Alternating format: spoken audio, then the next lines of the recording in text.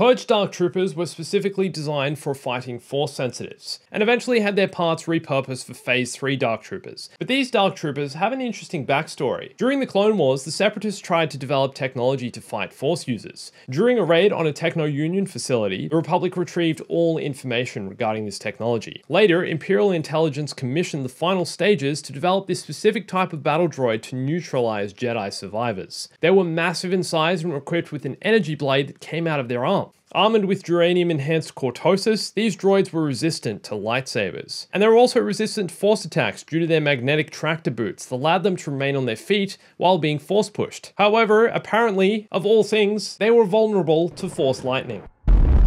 These guys first appeared in the Force Unleashed video game, and also later appeared in the Force Unleashed 2, where you could zap them with your lightning. If you enjoyed this clip, you might like the full video here. Come check out my main videos.